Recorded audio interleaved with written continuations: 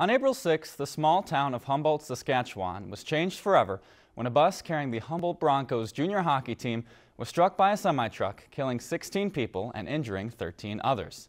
Donations, tributes, and support poured in from throughout the hockey community, including right here in Bemidji, that is creating a memorable experience for the town's Pee Wee hockey team this weekend.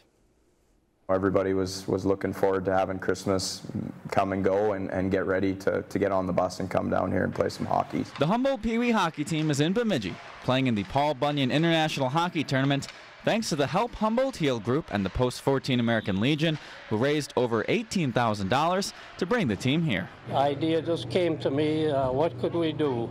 And I thought the best thing is our Pee Wee tournament because it's the best tournament put on in Bemidji. We are so excited. We are so thankful to Jim Haskell and the Help Humboldt Heal uh, committee that he put together to raise the money to bring the teams to bring the team here. It's, it's really exciting. Head coach Maurice Simoneau is grateful for the support Bemidji has shown and says this week will be an experience that they'll never forget.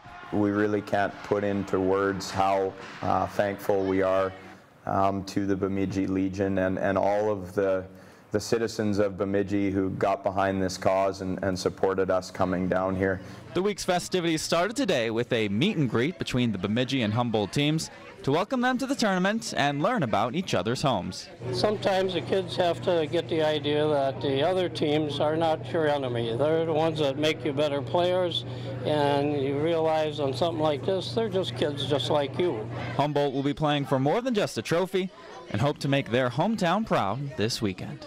This has been a challenging year and uh, one that I know that is, is hard for so many that were directly impacted and if we can come down here and represent our community in a positive way and the legacy that, that last year's team had, we will, we will certainly try our best to do that. The tournament kicks off tomorrow at 10 with the opening ceremony at the Sanford Center with the championship game played on Sunday. If you enjoyed this segment of Lakeland News, please consider making a tax-deductible contribution to Lakeland PBS.